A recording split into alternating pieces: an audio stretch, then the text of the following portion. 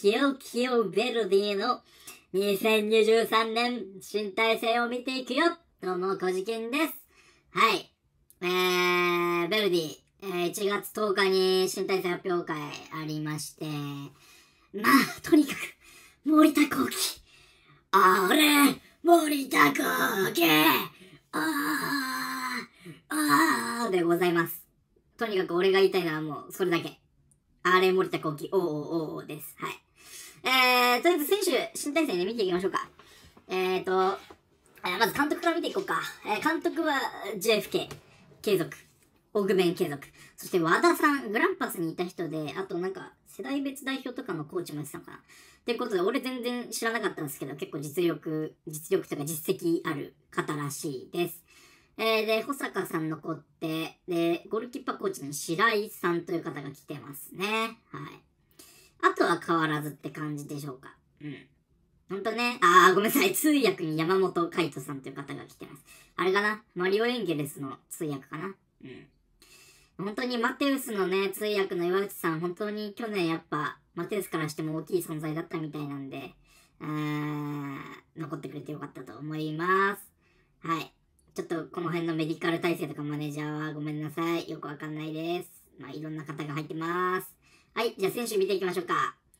えっ、ー、と、ゴールキーパーから1、21、31、41ってことで去年と一緒ですごい気持ちがいいですね。えー、マテウス、よくぞ残った。まあ本当に、あの、上福さんになってからもうマテウスが守護神でしたね。うん、非常にブラジル代表行ってからかな。そっから、なんか急成長した感じありますよね。うん。マテちゃん頼むぞ、今年も。で、えー、まあ、サブに長沢ってところで、えー、まあ、第2キーパーをね、えー、久谷と、えー、国士舘から来た41番飯田。まあ、この辺が争って、まあ、あわよくばマテウスの座を掴み取れっていう感じでしょうか。この飯田に関しては俺プレイ見たことないんですけれども、ほんと大学ナンバーワンゴールキーパーの評判がね、あるみたいで、あのー、会見のなんか声とかもさ、ハスキーでよかったね。ちょっと大げさや。はぁ、国士舘大学が来ました !40 番飯田ですみたいな。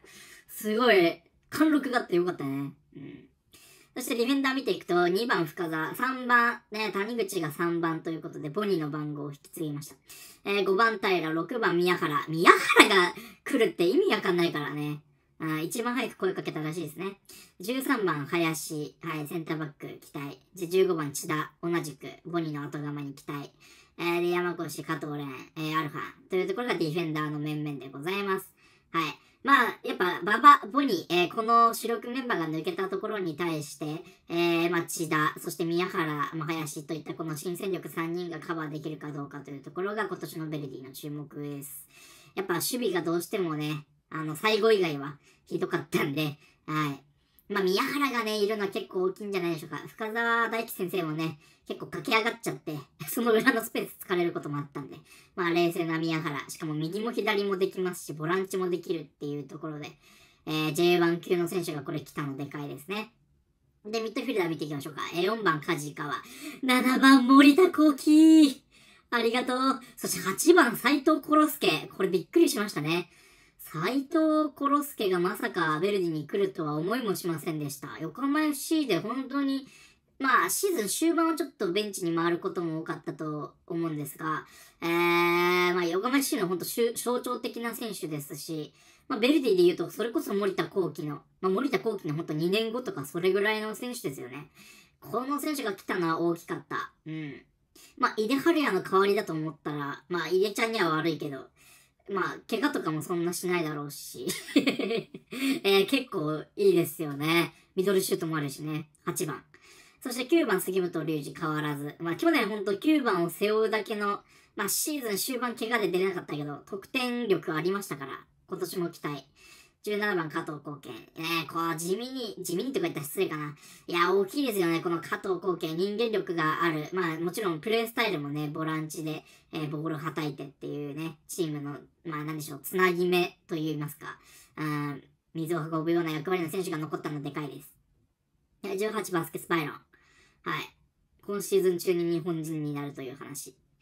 19小池純喜。えー、20番北島アビスパから来ました、レンタル。えー、まあ、左サイドの基本的にアタッカーの選手で、えー、アグレッシブなディフェンスと、あとは個人で、本当個人で突破できる選手ですので、えー、まあ、荒井瑞希の本当代わりになるような、まあ、荒井瑞希からちょっと、あの、なんでしょうね、えー、テクニカルな、あの、ドリブルをちょっとマイナスして、だけどその分守備での強度っていうのをプラスしたような選手のイメージですね、北島。そう、北島ね、俺結構、2019年くらいからいい選手だなって目つけてたんで嬉しいです。そして23番、綱島。まあ、大卒で一番注目なのはこの選手じゃないでしょうか。まあ、馬場のそれこそ本当代わりを果たすような、えー、中央にどっしり構えて、えー、セカンドボール拾って叩いて、ロングフィードも使ったりしてっていう感じで。まあ、森田とのダブルボランチとかね、見たら同世代ですから、森田とね。うん。楽しみ。そして24番、長川優太は、もう、ジュビロ戦のあのボレーシュートを見ると、フォワードまでできるんですか、奈良さんと。そして、契約更新のコメント？これがもう俺の胸にズキュンと刺さりましたね。もう、ベルディ、なんだっけ、忘れちゃった。なんか、ベルディでしか、のプレイする気ないみたいな、そんな感じのね。うん。全然、心に残ったとか言って全然忘れてますけど。はい、そういう人間です。俺はそういう人間だ。はい。25番、稲見。はい、稲見もね、去年怪我で出遅れちゃって、まあ、ただ後半から試合絡み出したんで、はい、今シーズン期待。そして28番、楠木大輝。はい、この選手スピードあります。インカレちょっと見てました。33番、橋本陸斗。ね、ここらで陸斗も3年目なんでね、まあ3年目言うても高3の年ですかうん。まあ若いけど、でも期待ですね。体もなんかいい感じに仕上がってそうです。34番、西谷。もう西谷もね、去年から良かったし、うん。ベルディユースには珍しい結構フィジカルがしっかりしてる選手です。そして14番、まあこの選手が今年期待ですよね。はい。どれぐらいやってくれるかによってチームが左右されます。マリオ・エンゲルス。えー、プレイ動画結構俺見漁ったけど、えー、まあ左ウィング、右ウィング、えー、トップと、まあ、それぞれどこに置いても、あの、プレイはできる選手でした。うん。で、スピードでほんと、まあ、小池純喜みたいなほんと感じですよね。うん、栄光みたいな感じの選手だなっていう印象を受けて、結構アグレッシブに前線からディフェンスもかけられるし、そんなサボることのない、まあ、日本向きな選手なのかなと思いましたね。えー、正直得点に関して数字で爆発したのは本当に2018年ぐらいのオランダ2部の1年間だけなんですけれども、えー、まあ、日本の2部で爆発してもらいましょうか。えー、2023年は。うん。で、まあ本人はね、多分一番の目標はケルンだったっけな。ドイツのね、えー、ユースで育ったチームで活躍することだと思うんで、まあベルディで活躍して、一石金たんまり残して、ケルンで最後キャリアを迎えるなんてのもいいかもしれないですね。はい。まあ、とりあえず今年はベルディで頑張ってください。そして11番背番号地味にマイナス2、はい、しました。坂野。坂野も1年間出たら10点取れるっしょ。で、27番山田豪輝、佐藤良賀の代わりと言ってます。まあ、量がと比べて、まあ、身長もね、10センチぐらい小さいっていうところもありますが、どっちかというと本当アジリティが量がよりもあるような選手ですよね。うん、シュートセンスに関しては量がより本当あるんじゃないかなと。インカレでも、なんかゴールした時俺リアルタイムで見てたけど、えぐいシュートでしたね。うん。巻いて、左足で。うん。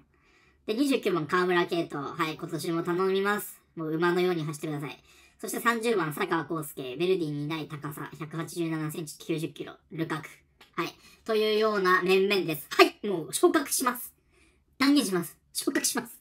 2023年のベルディは昇格します。うん。もう昇格した気でいます。もう俺は2024年を見据えてます。いけるっしょ。いける。このメンバーなら、J1 いける。うん。いけます。行くしかねえじ、行くしかないでしょ。上福さんと一緒に。で本当になんか、こう、ベルディを俺は20年近く見てきて、こう、J2 で過ごした年で、なんかね、3番目に期待値が高い。微妙、ごめん、微妙で申し訳ないけど。3番目に期待値が高い年です、今年は。1番は復帰ディエゴがいた2007年。2番は、えー、えー、あれですね、2012年。小林祐希。で、フォワードにジョージ・マールとか アレックスとか来て、えー、森祐介もいて、西とか取って、うん。っていうあの2012年が2番目に期待したかった。で、3番目です、今年。はい。これを、これは何を意味するのか。7位、7位を意味するのでしょうか。8位を意味するのかわかんないですけど。いや、かなり期待していいと思います。本当にバランスよく、年齢層もそう、ポジションもそう、あで経験値もそう、非常にバランスよく選手補強してて、なんかベルディじゃないなと思いますね。身長高い選手も多いし。はい。いけるっしょ。うん。今年こそ行きましょう、皆さん、J1 に。はい。ちょっと他のね、新体制見る動画と比べるとちょっと熱が入っちゃってますけど、すいません。はい、ユニフォーム。いやー、ユニフォームね。いや、俺結構、この、ごめんなさい。日ガスのこのカタカナ以外は好きです。あの、斬新ですよね。あんまこういうデザインのユニフォーム見たことなかったんで、いいと思います。ただ、このカタカナの日ガスだけはちょっと、ちょっとね、ちょっちゅね。うーん、多分日ガスもね、やっぱこう自分たちの会社名、やっぱ英語、ローマ字だとちょっと覚えられにくいっていうとこあるんでしょうね。うん。いやー、まあデザインだけじゃないからね。お金出してもらってるからね。うん、そこはもう受け入れます。ただデザイン的にこれがなかったらすごいいいのにって思っちゃいます。うん。緑白緑はいいですね。ほんと往年のあのベルディを思い出すような。うん。しかもこのちょっと濃い緑っていうのがいいです。はい。で、キーパーユニは黒色ということですね。なんか、去年もそうだけど、セカンドユニフォームは時差 時差がありますね、発表にね。はい。はい、いつも通りベルディグリーンとパイオニアゴールドを入れた、はい、デザインになっております。はい、かっこいいですね。かっこいいけど、日月だけが気になるなうん。はい。まあ、俺は好きですよ、今年のユニフォーム。去年より好きです。デザイン的に。去年よりかっこいいと思います。うん。うん。この長袖ダセいけど。長袖ダサくない？なんでこんなところでちょん切れるの？この金色が。長袖ダサいです。はい。ただ、半袖はいいと思います。ちょっとこの金の、この面積がちょっと広い気もするけど。まだいいと思う。この引きで見たときすごい、締まって見えてかっこいい。閉まってみるけど、なんかタンクトップ着てんのかこいつって思うよね。ちょっと遠目に見たら。俺びっくりしたもん、そう。あの、新体制のライブ配信見てたけど、あれなんか、谷口と河村タンクトップで出てきたって思ったけど。違いましたね。袖が金色でした。ちょうどだってこの腕のラインに重なってんだもん。でもかっこいいよ。うん。パイオニアゴールドかっこいいよ。